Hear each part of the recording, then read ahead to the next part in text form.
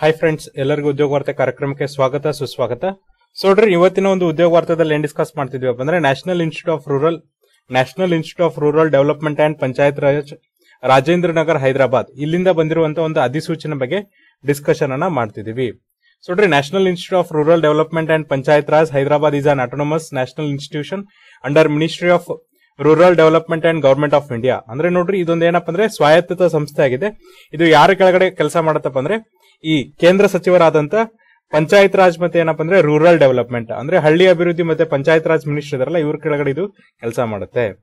ನೋಡ್ರಿ N I R D P R ಅಂದ್ರೆ national institute of rural development and Panchayat Raj is a context apex organisation for training and research in various aspect of Panchayat and rural development N I R D P R is implementing a national level project, namely creating clusters of model of Gram Panchayat to achieve the holistic and sustainable development through institution strengthening of GPS and enabled of enablement of quality GPDP across India. So ನೋಡ್ರಿ ಇವ್ರು ಏನ್ ಮಾಡ್ತಿದಾರೆ ಅಂದ್ರೆ ಒಂದು cluster ಅನ್ನ create ಮಾಡ್ತಿದ್ದಾರೆ ಅಂದ್ರೆ ಸುಸ್ಥಿರವಾಗಿ ಮತ್ತೆ ಏನಪ್ಪಾ ಅಂದ್ರೆ ಹೋಲಿಸ್ಟಿಕ್ ಅಭಿವೃದ್ಧಿನ ಯಾವ ತರನ ಮಾಡ್ಬೇಕು ಈಗ ಪಂಚಾಯತಿಗಳನ್ನ ನೋಡ್ರಿ ಸುಸ್ಥಿರ ಅಭಿವೃದ್ಧಿ ಯಾವ ತರ ಮಾಡಬೇಕು, ಮತ್ತೆ ಅದು ಸಂಪೂರ್ಣವಾಗಿ ಎಲ್ಲವನ್ನೂ ಕೊಂಡಂತೆ ಏನು ಅಭಿವೃದ್ಧಿ ಆಗಬೇಕಲ್ಲ? ಅದ್ರ ಬಗ್ಗೆ ಇವ್ರು ಏನಪ್ಪ ಅಂದ್ರೆ ಒಂದು ಪ್ರಾಜೆಕ್ಟ್ ಅನ್ನ ಮಾಡ್ತಿದ್ರೆ. ಅದಕ್ಕೋಸ್ಕರ ನೋಡ್ರಿ ಇವರು ಅಪ್ಲಿಕೇಶನ್ಸ್ನ ಇನ್ವೈಟ್ ಮಾಡಿದ್ದಾರೆ. ಎಸ್ಪೆಷಲಿ ಏನಪ್ಪ ಅಂದ್ರೆ, ಇದು ಕಾಂಟ್ರಾಕ್ಟ್ ಬೇಸಿಸ್ ಮೇಲೆ ಇರುತ್ತೆ. ನೂರ ನಲವತ್ತೊಂದು ಅಭ್ಯರ್ಥಿಗಳಿಗೆ ಇವ್ರು ಏನ್ ಮಾಡಿದ್ರು ಅಂದ್ರೆ, ಈ ಒಂದು ಹುದ್ದೆಯನ್ನ ಕರೆದಿದ್ದಾರೆ. ಸೊ ನೋಡ್ರಿ, ಹುದ್ದೆ ಹೆಸರು ಏನಪ್ಪ ಅಂದ್ರೆ ಯಂಗ್ ಫೆಲೋ ಅಂತೇಳಿ. ಒಟ್ಟು ನೂರ ನಲವತ್ತೊಂದು ಹುದ್ದೆಗಳಿವೆ. ಡೆಸಿಗ್ನೇಷನ್ ನಿಮಗೆ ಕೊಡೋದೇನಪ್ಪ ಅಂದ್ರೆ ಯಂಗ್ ಫೆಲೋ ಅಂತ ಕೊಡ್ತಾರೆ. ಮೋಡ್ ಆಫ್ ರಿಕ್ರೂಟ್ಮೆಂಟ್ ಅಂದ್ರೆ, ಯಾವ ತರ ನೇಮಕಾತಿ ಮಾಡ್ಕೋತಾರೆ ಅಂದ್ರೆ ಇದು ಕಾಂಟ್ರಾಕ್ಚುಯಲ್ ಬೇಸಿಸ್ ಮೇಲೆ ನಿಮ್ಮ ನೇಮಕಾತಿಯನ್ನು ಮಾಡ್ಕೋತಾರೆ. ಒಟ್ಟು ಎಷ್ಟು ಪೊಸಿಷನ್ಸ್ ಇದಾವಪ್ಪ ಅಂದ್ರೆ ನೂರ ನಲವತ್ತೊಂದು ಪೊಸಿಷನ್ಸ್ ಇದೆ.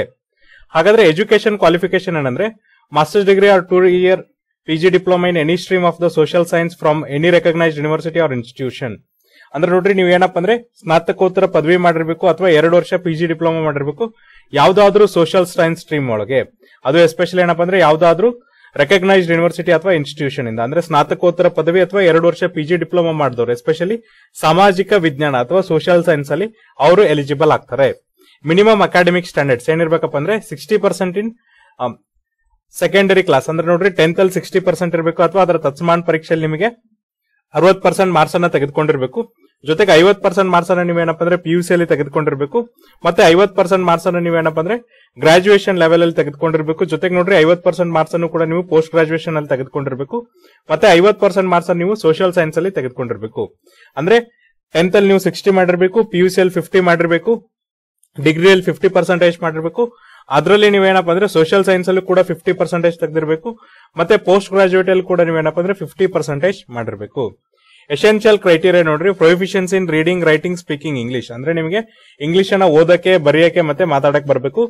Soft skills including the proficiency in M S office and capacity for online training and reporting ಅಂದ್ರೆ ನೋಡ್ರಿ, ನಿಮಗೆ ಸಾಫ್ಟ್ ಸ್ಕಿಲ್ಸ್ ಏನಿರ್ಬೇಕಪ್ಪ ಅಂದ್ರೆ ಎಂ ಎಸ್ ಆಫೀಸ್ ನಿಮ್ಗೆ ಏನಪ್ಪ ಅಂದ್ರೆ ಆಪರೇಟ್ ಮಾಡಕ್ ಬರಬೇಕು. ಜೊತೆಗೆ ನೋಡ್ರಿ ಆನ್ಲೈನ್ ಟ್ರೈನಿಂಗ್ ಕೊಡಕ್ಕೆ ಮತ್ತೆ ರಿಪೋರ್ಟಿಂಗ್ ಮಾಡಕ್ ಬರಬೇಕು.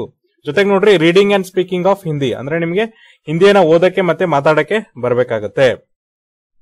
ಸೊ ಇಲ್ಲಿ ಜಾಬ್ ಡಿಸ್ಕ್ರಿಪ್ಷನ್ ಕೊಟ್ಟಿರ, ಆಮೇಲೆ ಡಿಸೈಬರ್ ಡಿಸೈರೇಬಲ್ ನೋಡ್ರಿ. ಡಿಸೈರೇಬಲ್ ಅಂದ್ರೆ ಯಾರಿಗೆಲ್ಲ ಹೆಚ್ಚಿನ ಆದ್ಯತೆ ಕೊಡ್ತಾರೆ ಅಂದ್ರೆ prior experience in the given field of the work with communities ಅಂದ್ರೆ ಯಾರೆಲ್ಲ ನೋಡ್ರಿ, ಈ ಒಂದು ಫೀಲ್ಡ್ ಒಳಗೆ ಮುಂಚೆನೆ ಕೆಲಸ ಮಾಡಿದ್ರಲ್ಲ, ಅವರಿಗೆ ಹೆಚ್ಚಿನ ಆದ್ಯತೆಯನ್ನು ಕೊಡ್ತಾರೆ.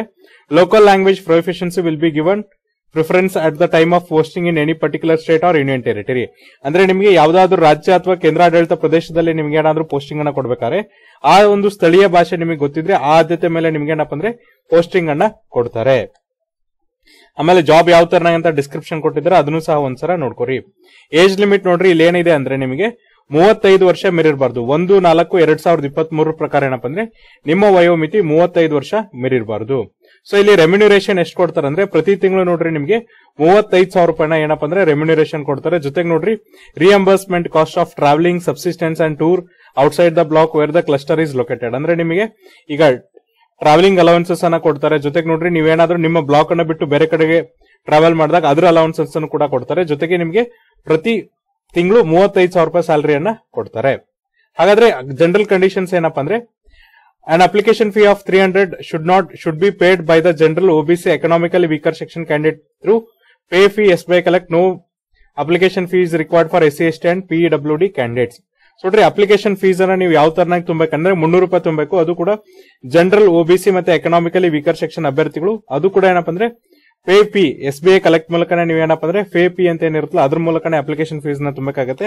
ಇನ್ ಕೇಸ್ ನೀವು ಎಸ್ ಸಿ ಎಸ್ ಟಿ ಮತ್ತೆ ವಿಕಲಚೇತನ ಅಭ್ಯರ್ಥಿಗಳಾಗಿದ್ರೆ ನಿಮಗೆ ಅಪ್ಲಿಕೇಶನ್ ಫೀಸ್ ಇರಲ್ಲ. Candidate seeking exemption of application fees under S C S T P W category shall be required to upload the necessary caste or P W D category certificate otherwise the application is liable to be rejected so ನೋಡ್ರಿ, ಯಾವೆಲ್ಲ ಅಭ್ಯರ್ಥಿಗಳು ಏನಪ್ಪ ಅಂದ್ರೆ S C S T ಮತ್ತು ವಿಕಲಚೇತನ ಕ್ಯಾಟಗರಿಯಲ್ಲಿ ಏನಪ್ಪ ಅಂದ್ರೆ ನೀವೇನಾದ್ರೂ ಈ ಒಂದು ರಿಸರ್ವೇಶನ್ ಬಯಸ್ತಾ ಇದ್ರೆ ಅಥವಾ ಫೀ ಕನ್ಸೆಷನ್ನ ಬಯಸ್ತಿದ್ರೆ ಆ ಕಾಸ್ಟ್ ಮತ್ತೆ ವಿಕಲಚೇತನ ಸರ್ಟಿಫಿಕೇಟ್ ಅನ್ನ ನೀವೇನಪ್ಪ ಅಂದ್ರೆ ಅಪ್ಲೋಡ್ ಮಾಡಬೇಕಾಗುತ್ತೆ. Candidate should apply through the online registration available on the website so ನೋಡ್ರಿ ಆನ್ಲೈನ್ ರಿಜಿಸ್ಟ್ರೇಷನ್ ಮಾಡ್ಕೋಬೇಕು. ಅದು ಕೂಡ ಏನಪ್ಪ ಅಂದ್ರೆ S T T P colon slash slash career dot N I R D P R dot N I C dot in so ನೋಡ್ರಿ, ಇಲ್ಲಿ applications ಹಾಕುವಂತ website ಯಾವ್ದಪ್ಪ ಅಂದ್ರೆ S T T P colon slash slash career dot N I R D P R dot N I slash ಇದ್ರ ಮೂಲಕನೇ ನೀವು ಏನಪ್ಪ ಅಂದ್ರೆ ಆನ್ಲೈನ್ ಅಪ್ಲಿಕೇಶನ್ಸ್ನ ಹಾಕ್ಬೇಕಾಗುತ್ತೆ. Preference will be preference in posting will be given to the candidates in their own states or home state ಅಂದ್ರೆ ನೋಡ್ರಿ preference ಯಾರಿಗೆ ಕೊಡ್ತಾರಪ್ಪ ಅಂದ್ರೆ ಯಾರು ಆಯಾ ರಾಜ್ಯಗಳಿಂದ ಬಂದಿರ್ತಾರಲ್ಲ, ಅವರಿಗೆ ಹೆಚ್ಚಿನ ಆದ್ಯತೆಯನ್ನ ಕೊಡ್ತಾರೆ. ಏಜ್ ರಿಲ್ಯಾಕ್ಸೇಷನ್ ನೋಡ್ರಿ, ಒಂದು, ನಾಲ್ಕು, ಎರಡ್ ಸಾವಿರದ ಇಪ್ಪತ್ತ್ ಅಂತ ಇರಬೇಕಂತ ಹೇಳ್ತಿದ್ರೆ ಮೂವತ್ತೈದು ವರ್ಷ ಮೀರಿರಬಾರ್ದು. ಆಮೇಲೆ ನೋಡ್ರಿ only short listed candidate will be called for the written test or interview as both applicable no T A D A will be given for the attending the written test or interview so ನೋಡ್ರಿ, ಯಾರೆಲ್ಲ short list ಅನ್ನ ಮಾಡಿರ್ತಾರಲ್ಲ ಅಂತವ್ರಿಗೆ ಮಾತ್ರ ಏನಪ್ಪ ಅಂದ್ರೆ return test ಮತ್ತೆ interview ಕರೀತಾರೆ. ಆಮೇಲೆ ಯಾವುದೇ ತರನಾಗಿ ಟಿ ಎ ಮತ್ತೆ ಡಿ ಇದಕ್ಕೆ ಅಪ್ಲಿಕೇಬಲ್ ಆಗಲ್ಲ ಅಂತ ಇಲ್ಲಿ ಹೇಳ್ತಿದ್ದಾರೆ the prescribed qualification and experience are the minimum mere fact that a candidate possesses the same will not be will not entitle him or her being for being call for the interview or test ಅಂದ್ರೆ ನಿಮಗೆ just qualifications ಇದೆ ಅಂತ ಹೇಳಿ ನಿಮ್ಗೆ ಏನಪ್ಪ ಅಂದ್ರೆ ಈ ಒಂದು ರಿಟರ್ನ್ ಟೆಸ್ಟ್ಗೆ ಮತ್ತೆ ಇಂಟರ್ವ್ಯೂ ಕರಿಬೇಕಂತ ಏನಿಲ್ಲ ಅಂತ ಅವರು ಹೇಳ್ತಿದ್ದಾರೆ. ಸೊ ನೋಡ್ರಿ candidate may regularly visit the website for further information and updates if any ಅಂದ್ರೆ ನೋಡ್ರಿ, ನಿಮ್ಗೆ ಇನ್ನೇನಾದ್ರೂ ಅಪ್ಡೇಟ್ಸ್ ಬೇಕಾದ್ರೆ ಇನ್ಫಾರ್ಮೇಶನ್ಸ್ ಬೇಕಾದ್ರೆ ನೀವೇನಪ್ಪ ಅಂದ್ರೆ ವೆಬ್ಸೈಟ್ ಅನ್ನ ವಿಸಿಟ್ ಮಾಡ್ಬೇಕಂತ ಹೇಳ್ತಿದ್ದಾರೆ. Applications received after the date and the time will not be considered ಅಂದ್ರೆ ಈ ಡೇಟ್ ಬಿಟ್ಟು ನೀವೇನಾದ್ರೂ ಅಪ್ಲಿಕೇಶನ್ಸ್ ಹಾಕಿದ್ರೆ ಕನ್ಸಿಡರ್ ಮಾಡಲ್ಲ. ನೋಡ್ರಿ ಅಪ್ಲಿಕೇಶನ್ ಹಾಕೋದಕ್ಕೆ ಕೊನೆ ದಿನಾಂಕ ಇರೋದು ಯಾವ್ದಪ್ಪ ಅಂದ್ರೆ ಎಂಟು ಐದು ಎರಡ್ ಸಾವಿರದ ಇಪ್ಪತ್ತ್ ಮೂರು ಅಂದ್ರೆ ಮೇ ಎಂಟನೇ ತಾರೀಕಿಗೆ ನಿಮ್ಗೆ ಏನಪ್ಪ ಅಂದ್ರೆ ಆನ್ಲೈನ್ ಅಪ್ಲಿಕೇಶನ್ ಹಾಕೋದಕ್ಕೆ ಕೊನೆ ದಿನಾಂಕವಾಗಿದೆ ಸೊ ಇದು ಏನಪ್ಪ ಅಂದ್ರೆ ಈ ಒಂದು national institute of rural development ಮತ್ತೆ ಪಂಚಾಯತ್ ರಾಜ್ಯದಲ್ಲಿ ಇರುವಂತಹ ವೇಕೆನ್ಸೀಸ್ ಸೊ ನೋಡ್ರಿ ಒಟ್ಟು ನೂರ ನಲವತ್ತೊಂದು ವೇಕೆನ್ಸೀಸ್ ಇದೆ. ಒಟ್ಟು ಏನಪ್ಪ ಅಂದ್ರೆ ಎರಡು ನೂರ ಐವತ್ತು ವೇಕೆನ್ಸೀಸ್ ಇದೆ. ಇಲ್ಲೇನಂದ್ರೆ number of post for young fellows number of vacancies in the post of young fellows ಒಟ್ಟು ವೇಕೆನ್ಸೀಸ್ ಇರೋದೇನಪ್ಪ ಅಂದ್ರೆ ಎರಡು ನೂರ ಐವತ್ತು ನಿಮಗಿಲ್ಲಿ ಕರೆದಿರೋದು ನೂರ ನಲವತ್ತೊಂದು ಇದೆ ಹಾಗಾದ್ರೆ ಕರ್ನಾಟಕದಲ್ಲಿ ನೋಡ್ರಿ ಒಟ್ಟು ಐದು ಹುದ್ದೆಗಳಿವೆ. ಮೂರು ಹುದ್ದೆಗಳಿಗೆ ಇವ್ರು ಏನಂದ್ರೆ ಕಾಲ್ಫಾರ್ಮ್ ಅನ್ನ ಮಾಡಿದ್ದಾರೆ. ಸೊ ಆಲ್ ಓವರ್ ಇಂಡಿಯಾ ಎಷ್ಟಿದೆಯಪ್ಪ ಅಂದ್ರೆ ಒಟ್ಟು ನೂರ ನಲವತ್ತೊಂದು ಹುದ್ದೆಗಳಿಗೆ ಏನಪ್ಪಾ ಅಂದ್ರೆ ಇವರು ಅಪ್ಲಿಕೇಶನ್ಸ್ನ ಕರೆದಿದ್ದಾರೆ. ಸೊ ಇದು ಏನಪ್ಪಾ ಅಂದ್ರೆ ಈ ಒಂದು ಗ್ರಾಮೀಣಾಭಿವೃದ್ಧಿ ಮತ್ತೆ ಪಂಚಾಯತ್ ರಾಜ್ ಇಲಾಖೆಯಲ್ಲಿರುವಂತಹ ವಿವಿಧ ಹುದ್ದೆಗಳ ನೇಮಕಾತಿ ಇನ್ ಕೇಸ್ ನಿಮ್ಗೆ ಇದ್ರಲ್ಲಿ ಏನಾದರೂ ಡೌಟ್ ಇದ್ರೆ ನಾವು ನಮ್ಮ ಡಿಸ್ಕ್ರಿಪ್ಷನ್ ಬಾಕ್ಸ್ ಅಲ್ಲಿ official P D F link ಅನ್ನ ಕೊಡ್ತೀವಿ. ಆ ಲಿಂಕ್ ಅನ್ನ ಕ್ಲಿಕ್ ಮಾಡಿದ್ರೆ ನಿಮಗೆ ಎಂಟೈರ್ ಪಿ ಡಿ ಎಫ್ ನೋಡೋಗುತ್ತೆ ಅಲ್ಲಿ ನೀವು ಏನ್ ಮಾಡಬಹುದು ಅಂದ್ರೆ ನಿಮ್ಮ ಅಪ್ಲಿಕೇಶನ್ ಡೌನ್ಲೋಡ್ ಮಾಡ್ಕೋಬಹುದು ಅಂದ್ರೆ ಈ ಒಂದು ನೋಟಿಫಿಕೇಶನ್ನ ಡೌನ್ಲೋಡ್ ಮಾಡ್ಕೋಬಹುದು ಡೌನ್ಲೋಡ್ ಮಾಡ್ಕೊಂಡು ಏನಪ್ಪ ಅಂದ್ರೆ ನಿಮ್ಮ ಡೌಟ್ಸ್ನ ಸಾಲ್ವ್ ಮಾಡಬಹುದು ನಾಳೆ ಮತ್ತೊಂದು ರಿಕ್ರೂಟ್ಮೆಂಟ್ನ ಡಿಸ್ಕಸ್ ಮಾಡೋಣ. ಅಲ್ಲಿವರೆಗೂ ನೋಡ್ತಾ ಇರಿ. ಉದ್ಯೋಗಾರ್ಥ ಕಾರ್ಯಕ್ರಮ. Thank you